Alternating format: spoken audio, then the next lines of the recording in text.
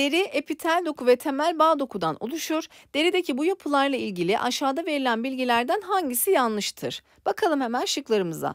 Alt deride bulunan malpigi tabakası melanin pigmenti bulundurur diyor. Malpigi tabakası alt deride değil üst deride bulunur arkadaşlar ve korun tabakasının hemen altındadır. Hücreleri canlıdır. Bunu tekrar amaçlı söylemiş olayım. Ancak burada malpigi tabakası alt deride bulunur diyor ve yanlış olan seçeneğimiz bu olmuş oluyor. Çünkü alt deride değil üst deride bulunuyor diyebiliriz arkadaşlar. Yapılan bir deneyle dil üzerindeki dört farklı bölümdeki tat alma oranları incelenmiş. Bir numaralı bölümde acı tat hissinin 4 numaralı bölümde hissedilenden daha az olduğu gözlenmiştir. Bu deney aşağıdakilerden hangisini anlamaya yönelik olarak yapılmıştır? Bakın bir numaralı yerde 4 numaralı yere göre daha fazla bir his olduğu söyleniyor acı bakımından değil mi? O zaman bakalım. Dildeki reseptör çeşitlerinin belirlenmesi. Burada biz reseptörü algılamıyoruz değil mi? Sadece acı tadın nerede daha fazla olduğunu görebiliyoruz. O yüzden bu olmayacak. Tat alma için gerekli olan eşik değerin bulunması. Buradaki grafik sorusu değil. O yüzden eşik değeri de göremiyoruz. Dilin hangi bölgesinde hangi tadın daha yoğun algılandığını. Evet burada biz bir numaralı yerin dört numaralı yere göre daha yoğun bir tat algıladığını söyleyebiliriz değil mi? O yüzden cevabımız bu olabilir. Diğerlerine de bakalım. Dildeki reseptörlerin nasıl uyarıldığı, hayır bunu da anlayamayız. Reseptörlerde uyartı iletimini hızlandıran faktörlerin neler olduğunu, hayır bunu da anlamıyoruz. Cevabımız o zaman C seçeneği olmuş oluyor. İlkokulda resim yapan Ali resimde ağaç yapraklarını siyah, elmaları mor renge boyamıştır. Öğretmeni Ali'ye yaprakları ve elmayı neden farklı renkte boyadığını sorduğunda Ali'nin bu durumun farkında olmadığını anlar. Bu durumla ilgili yargılarından hangileri söylenebilir? Bakın Ali renkleri ayırt edebilmiş mi? Hayır, bunun farkında değilmiş. O zaman renkler neyle alakalı?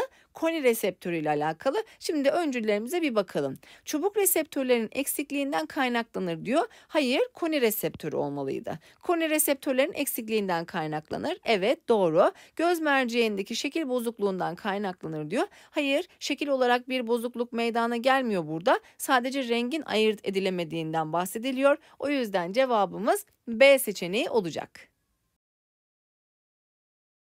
İç kulaktaki yarım daire kanalları tulumcuk ve kesecik beyincik ile birlikte vücudun dengesinin ayarlanmasını sağlar.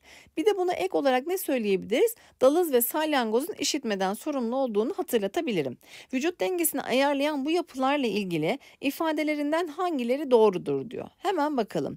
Tulumcuk ve kesecik içerisindeki otolit taşları başın sağa sola, yukarı aşağı hareketi sırasında duyu nöronlarında impuls oluşumunu sağlar diyor ki bunu sağ sağladığı için zaten dengeli bir şekilde hareket gerçekleşmiş oluyor. Yarım daire kanalları başın dönme veya açısal hareketlerinde denge sağlanmasında görevlidir. Aynen öyle arkadaşlar. Bu dönme ve açısal hareketlerdeki dengenin merkezi yarım daire kanalları olmuş oluyor. Kulaktaki denge kısımları impulsu beyinciye iletir. Beyincik hareket yönünü algılayarak uç beyne iletir ve denge kurulur. Uç beyin dediğimiz beyin kabuğu istemli davranışlarımızdan sorumlu olan yerdir ve kulaktaki denge kısımları da bu impulsu beyinciye ilettiği için beyincikle birlikte dengeli bir şekilde hareket sağlanmış olur. O yüzden cevabımız E seçeneği olmuş olacak. Aşağıda verilenlerden hangisi derinin görevlerinden birisi değildir? Vücuda şekil ve bütünlük kazandırma, evet, içeriğin dağılmasını engeller. Terleme yoluyla boşaltıma yardımcı olma, aynen öyle. Vücut yüzeyiyle terleme yapıldığı için boşaltım sağlanmış olur. Sahip olduğu reseptörler aracılığıyla çeşitli duyuları algılama. Sahip olduğu reseptörler mekanoreseptör ve termoreseptör. Hemen bunu yazayım aklınızda kalsın. Mekano ve termoreseptörler var. Mikroorganizmalar Organizmaların vücuda girmesini engellerler. Evet. Kan hücrelerini üreterek dolaşıma katma. Bunu kim yapar arkadaşlar? Kemik iliği yapar. Derinin böyle bir görevi yok. O yüzden cevabımız E seçeneği olmuş olacak.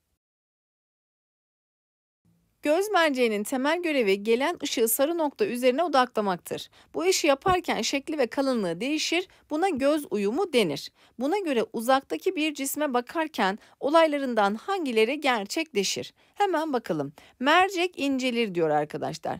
Mercek ne olur? İncelir ve uzar aynı zamanda. O yüzden bu doğru olmuş oldu. Kirpiksi kaslar kasılır diyor. Hayır gevşer olmalıydı. O yüzden bu yanlış olmuş oldu. Asıcı lifler gerilir. Evet arkadaşlar lifler gerilir. Zaten merceğin incelme sebebi budur. Işık daha çok kırılır. Işığın daha çok kırılması gibi bir şey söz konusu olabilir mi? Olamaz arkadaşlar. Yani uzaktaki bir cisme bakarken kırıcılığı ayarlayan bu mudur? Hayır değildir. O yüzden cevabımız 1 ve 3 olmuş olacak. İşitme organı olan kulaktaki işitme olayı ile ilgili aşağıdaki açıklamalardan hangisi yanlıştır? Dış kulaktaki kulak zarı sesin çarparak ilk kez titreşim oluşturduğu yerdir. Evet bu şekilde doğrudur. Üzengi kemiğinden sonra ses östaki borusu aracılığıyla iç kulağa aktarılır diyor. Östaki borusunun amacı arkadaşlar basınç farkını ayarlamaktır. Yani dış kulak ile yani dış ortam ile iç ortam arasındaki basınç farkını ayarlamaktır. Üzengiden sonra gelen kısım neresidir aslında? Oval pencere dediğimiz kısımdır. O yüzden burası yanlış olmuş oldu. Östaki borusunun görevi basınç farkını ayarlamaktır. O yüzden cevabımız B seçeneği olmuş oldu. Gözdeki görme olayında görevli yapılar şunlardır. Buna göre göze giren ışığın görme olayı gerçekleşene kadar geçtiği yolda hangi yapılar yer değiştirirse sıralama doğru olur diyor. Hemen bakalım. Korneadan sonra kim gelecek? Göz bebeği gelecek arkadaşlar. Göz merceği değil. Göz bebeğinden sonra göz merceği gelecek. Sonra camsı cisim gelecek. Camsı cisimden sonra görme sinirleri değil sarı benek gelecek. Çünkü sarı beneğin bulunduğu yerde görme sinirleri vardı. Sonra da uç beyine aktarılacak. O yüzden burası da 7 olmuş olacak. Yani uç beyin dediğimiz yerin diğer adı beyin korteksiydi uç beyin yerine beyin korteksi de yazabilirdi. Dikkat etmemiz gerekiyor. O zaman 2 ve 3 yer değiştirecek. Daha sonra 5 ve 6 yer değiştirecek. Yani cevabımız D seçeneği olmuş olacak. Bir cismin görülebilmesi için aşağıdakilerden hangisi mutlaka gerçekleşmek zorunda değildir diyor. Bakalım ışınların mercekte kırılması. Kırılma olmadan görülme olayı gerçekleşmez. O yüzden bu zorunludur. Duyu sinirlerinin impulsları beynin görme merkezine iletmesi. Evet benim duyu nöronlarımdan aldığım bilgileri beynime göndermem lazım ki görme olayı belli olsun. Duyu sinirlerinde impuls oluşması bu gerçekleşmek zorunda ki zaten ben bu sinirleri beyne göndereceğim. Koni reseptörlerinin belirli dalga boyundaki ışıkla uyarılması.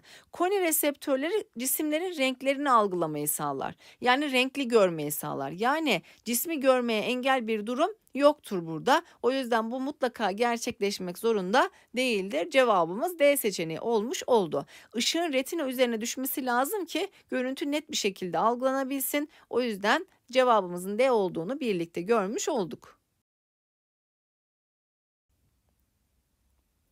Koku alma organı olan burun ile ilgili ifadelerinden hangileri doğrudur? Koku alma dışında alınan havadaki oksijenin çözünmesini de sağlar. Evet, bu çözünme olduğu için oksijen vücudumuza çok daha rahat bir şekilde giriş yapar. O yüzden bir doğru olacak, bir olmayanları hemen eleyelim. Sarı bölgede bulunan kemoreseptörler aslında özelleşmiş bir sinir hücreleridir. Evet, sadece kemoreseptör değil, diğer reseptörler de sinir hücresidir. Ancak biz burada koku alma organına baktığımıza göre göre bunun da doğru olduğunu söyleyebiliriz. O yüzden 1 ve 2 cevabımız olmuş olacak. Üçüncüye bakalım. Koku soğancığında bulunan duyu nöronları kokunun çeşidini belirler. Arkadaşlar kokuyu algılayan kısım reseptörlerin olduğu kısımdır. O yüzden yanlış olan seçeneğimiz bu olmuş oldu. Koku duyusu burun tarafından alındıktan sonra uyartı beynin ilgili bölümüne taşınır. Koku duyusu beyinde hangi bölümler üzerinde koku merkezine iletilir? Bakın koku duyusu olduğu zaman talamusa uğramayacaktı değil mi? O zaman talamus olan seçeneği hemen eleyelim. Bakın arkadaşlar, eğer talamusa uğramıyorsa hangi bölüme gidecek beyindeki en önemli merkezimiz neresi? Hipotalamus. Peki hipotalamus neyi sağlıyordu? Vücudumuzun patronu gibi düşünebilirdik. Hem hormon salgılanmasını hem içerideki bulunan iç dengenin sağlanması için birçok faaliyetin gerçekleştiği yer neresiydi? Hipotalamustu. Peki koku duyusu oradan sonra nereye geçecek arkadaşlar? Uç beyine. Çünkü beş duyu organından gelen uyarıların algılandığı yer neresi? Uç beyindir. O yüzden cevabımız E seçeneği olmuş olacak. Aşağıdaki şekilde insan gözünün yapısı gösterilmiştir. Buna göre göz ve görme olayı ile ilgili aşağıdaki bilgilerden hangisi yanlıştır? Göze gelen ışınlar saydam tabakada ve göz merceğinde kırılır. Evet burası doğru. Kirpiksi cisim ve asıcı lifler kasılıp gevşeyerek göz merceğinin çapını değiştirir ve göz uyumunu sağlar. Göz uyumu bu kasların kasılıp gevşemesiyle gerçekleşir. O yüzden bu da doğru. Görme sinirlerinin gözü terk ettiği kör noktada fotoreseptörlerce zengindir diyor. Bakın kör noktada reseptör bulunmaz. O yüzden yanlış olan seçeneğimiz bu. Ancak diğerlerini de kontrol edelim. Damar tabaka gözün ön kısmında farklılaşarak göze rengini veren neyi meydana getirecek? İrisi meydana getirecek. Doğru olmuş oldu. Damar tabaka kan damarlarınca zengindir. Zaten adı, adı üzerinde damar tabaka o yüzden bu da doğru olmuş oldu.